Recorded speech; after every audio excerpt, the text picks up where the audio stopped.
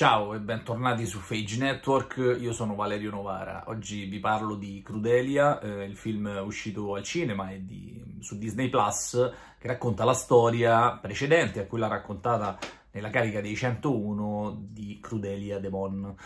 E se vi ricordo che se non siete ancora iscritti al nostro canale Phage Network, vi consiglio di iscrivervi e attivare le notifiche per essere sempre avvisati dei prossimi video e delle prossime recensioni che usciranno. E vi consiglio anche di seguirci su Instagram, Facebook e Twitch, dove la sera ci piace streamare e parlare di cinema e serie tv. Allora, veniamo a Crudelia, il film con Emma Stone, eh, partirei proprio da qui. Quando eh, ho visto il primo trailer e eh, ho scoperto che mh, mm, sarebbe stata Emma Stone a interpretare una giovane Crudelia,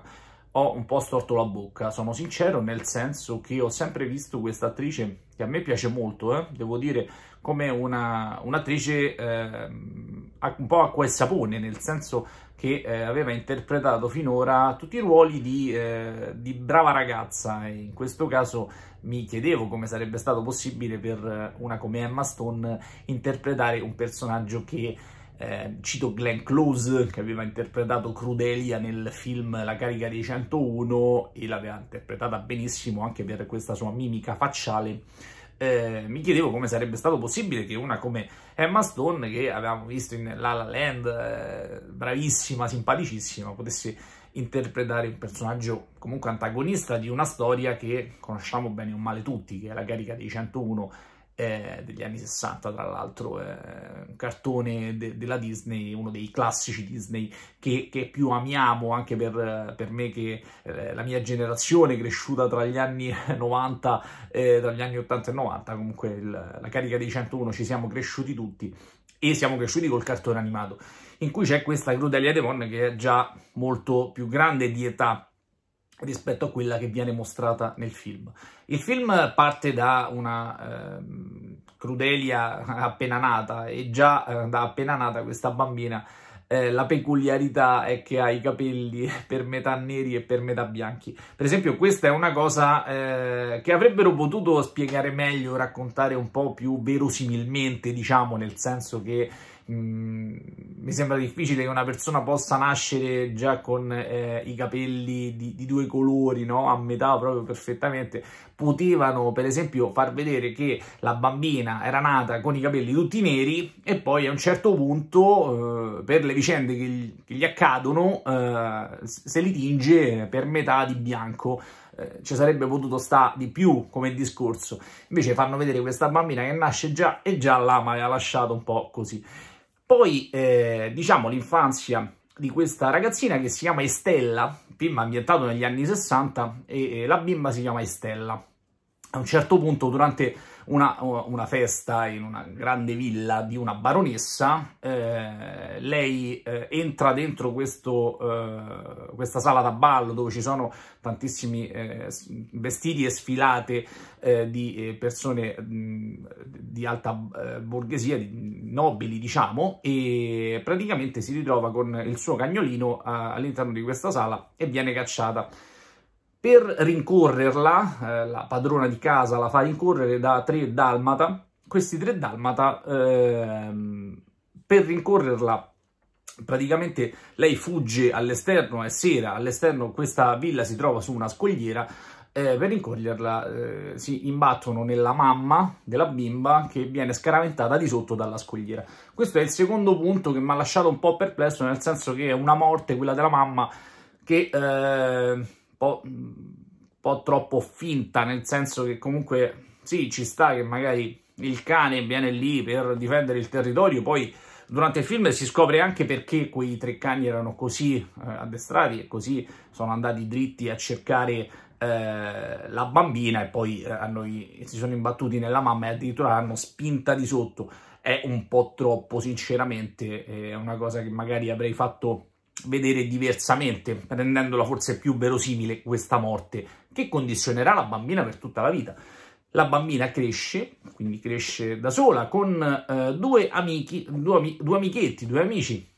mi è uscito Amici, e che nel film vengono chiamati Horace e Jasper, che altro non sono che eh, Gaspar e Orazio del cartone animato. Infatti mi è piaciuta molto questa cosa, anche perché fisicamente i due attori somigliano molto ai eh, personaggi del, del, classico Disney. In pratica eh, la ragazzina cresce, diventa adolescente, i due eh, tutti e tre mm, fanno dei furti, eh, arrivano a, a rubare, a creare una piccola gang, fino a che non trovano lavoro a lei in un, eh,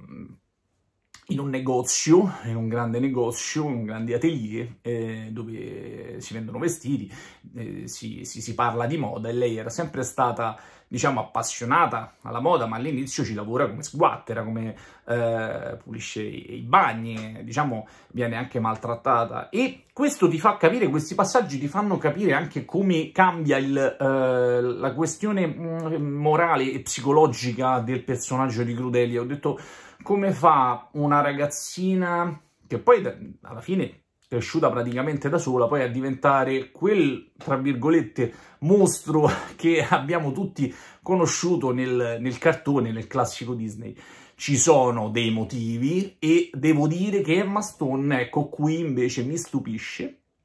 perché riesce a far vedere quella trasformazione che avviene tra eh, il momento in cui la eh, bambina Estella perde la mamma e il momento in cui viene eh, maltrattata, fatta diventare quasi uno scarto della società fino alla rivalsa che avverrà proprio perché a un certo punto, in un impeto di, eh, di rabbia e di frustrazione, eh, praticamente la, la, vetrina di questo negozio la trasforma, una sera che non c'è nessuno, lei eh, arrabbiata col suo capo e si ubriaca e praticamente trasforma questo manichino. Il giorno dopo entra una famosa baronessa dentro il negozio, vede questa eh, questa vetrina e dice ma chi ha fatto eh, quel, quel, lavoro e eh, il padrone del negozio dice no, una che abbiamo licenziato e lei dice no, avete fatto male perché la, la assumo io eh, perché ha gusto, il resto qui non mi piace. Praticamente Estella va a lavorare per questa baronessa mm, e eh, si vede subito che ha una sveltezza e una capacità di eh, intendere la moda e di creare vestiti eh, stile che eh, piace molto alla baronessa, che era una tipo eh, quel, quel, mostro di, del diavolo veste Prada, ecco, non, non mi veniva eh, il personaggio interpretato da Mary Streep nel diavolo veste Prada, immaginatevela un po' così questa baronessa. Insomma, eh, Emma Stone si eh, impone all'interno di questo ambiente fino a scoprire che questa baronessa, insomma, nasconde dei segreti che non starò qui a svelarvi per non spoilerarvi ulteriormente poi quello che sarà il resto del film. Mi è piaciuto molto come è stata mostrata la trasformazione e la rivalsa di una donna. Uh, Estella che poi cambierà nome in Cruella, quindi Crudelia, una persona che diventa crudele per alcune cose, alcune eh, azioni, alcuni fatti che gli succedono, perché poi, se ci pensate, avviene sempre in questo modo. Sono alcune esperienze che ti cambiano al punto, oltre a delle perdite, dei lutti e a dei segreti che poi vengono svelati durante il corso, il corso del film, che ti portano a diventare totalmente un'altra persona. Ho apprezzato l'interpretazione di Emma Stone, mi è piaciuta, mi sono eh, piaciuti gli effetti speciali e anche questa cosa, questa sua passione per la moda, viene molto sottolineata questa sua eh, intuizione, questo suo modo di pensare, di essere avanti, di capire la bellezza e quindi di disegnare la bellezza non appassionata e questa cosa poi si evincerà anche in futuro quando utilizzerà purtroppo anche le pellicce di Dalmata per fare delle, ehm, eh, delle pellicce appunto dei vestiti. Quindi diciamo questa sua passione per la moda poi la porterà a essere una persona cattiva, ma cattiva ci è stata portata da alcune cose che poi gli sono successe e che ha scoperto, soprattutto riguardo a sua madre e alla sua infanzia. Anche gli altri personaggi, gli altri attori sono stati molto bravi e eh, è un film piacevole, nel senso che ti dà una leggerezza e un modo di, anche di eh, tornare al, al, classico Disney con alcuni riferimenti. Nel, nel finale titoli di coda si vede appunto c'è questa Anita, Anita eh, che viene mostrata come la, la giornalista che, praticamente Crudelia conosce già quando è uh, una ragazza e alla, alla, fine del film, nei titoli di coda, regala questi due cuccioli proprio a Roger e Anita, e Roger non sarebbe altro che Rudy del, del cartone. Insomma, un, un film che mi è piaciuto,